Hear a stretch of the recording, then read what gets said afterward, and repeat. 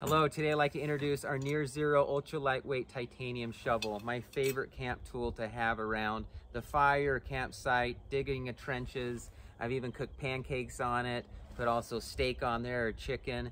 Uh, it's ultra thin. You can see how thin, razor thin on this.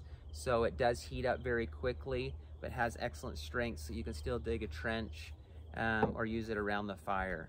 You can purchase separately of just the shovel head if you wanted to make your own shovel pole from the forest or purchase with a custom wooden head or a wooden handle and quick release pin. So this quick release pin has a little head right here with two ball bearings. You push the little pin head in and it slides right in and locks into place because of the ball bearings. And then very collapsible, push the button again, pull it straight out, and this all collapses into 20 inch length that you can easily fit into your backpack. And you can put the pin in here for storage and store that in your backpack as well. So excellent tool and uh, weighing just a total of 12 ounces with the pole and the, and the head.